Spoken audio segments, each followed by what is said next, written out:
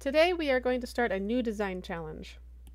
Here is a picture of President Richard Nixon signing into law the National Cancer Act of 1971. This law represented the commitment of the United States to what President Nixon described as the war on cancer. By signing this law, President Nixon established the National Cancer Institute, the National Cancer Advisory Board, and the President's Cancer Panel. He also directed new funding towards establishing 15 new cancer research centers. It's been about 50 years since the National Cancer Act of 1971, and although a lot of progress has been made, we still haven't won the war on cancer. For example, we still don't even understand all the basic science of how cancer develops and evolves.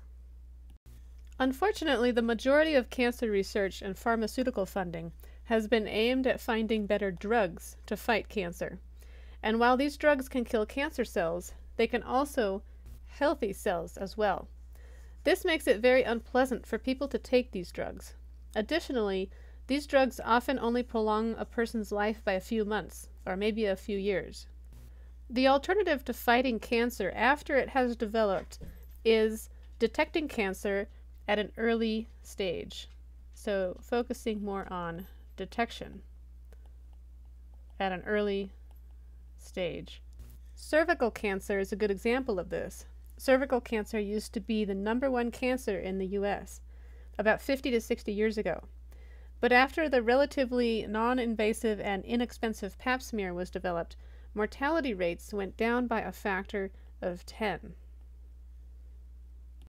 So, what if instead more cancer research was focused on detecting and treating cancer at an ultra early stage? The goal here might be to develop a two tiered screening strategy for all major cancers, just as there is for cervical cancer. As part of this two tiered strategy, we might first screen everyone in order to identify a small group of patients that are at higher risk for a particular type of cancer. So, screen everyone and identify small group at high risk. And then, second, we could follow up with only those people who are at high risk. So, take the high risk people and offer them a more definitive test, which might be more expensive and also possibly more invasive. So test only them with the more definitive test, which might be more expensive and more invasive. This way, only those people who are at high risk would need to go through the more expensive and in- invasive procedure. For example, a lot of people are not screened for colon cancer because no one wants to experience a colonoscopy. Colonoscopies are very effective, but they are also very invasive. If a two tiered screening strategy were developed for colon cancer, more people might be willing to get screened at the first stage, and then more cases of cancer might be detected earlier.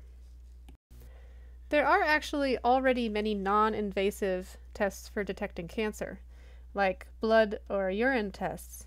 Unfortunately, these tests are focused on finding just a few abnormal cells in a relatively large sample. And this is akin to finding a needle in a haystack. It's a very difficult detection style. As a result, these techniques can work well at detecting large tumors after they've already developed, but they are very ineffective at detecting cancer at a very early stage. So instead, to develop an ultra early, non invasive cancer screening test, let's consider the basic question how does cancer begin to develop in the body? Do we know?